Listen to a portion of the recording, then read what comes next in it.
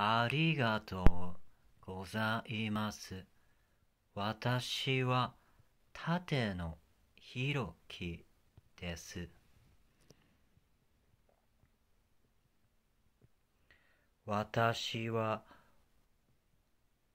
多くの方々から救世主と呼ばれています。キリスト教徒の方々からは、主人の子キリストと呼ばれています。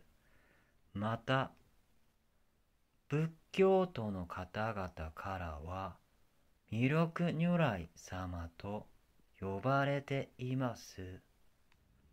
また、私の妻、私の未来の妻は観音菩薩であるとされていて、観音菩薩様と呼ばれています。私はこのような夢のお告げを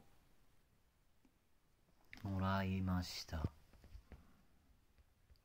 神様はこのように話しました。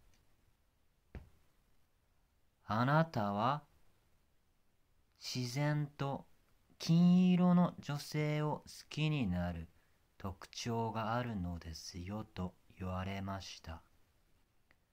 その時のビジョンは全身が金色の女性そのような女性のビジョンが現れました。私は青色を持っていて、青色の私は自然に金色の女性、あるいは私の妻のことを好きになる、そのように設定されているというのです。また、金色の女性、あるいは私の妻は青色の私に惹かれる。そのように話しているのです。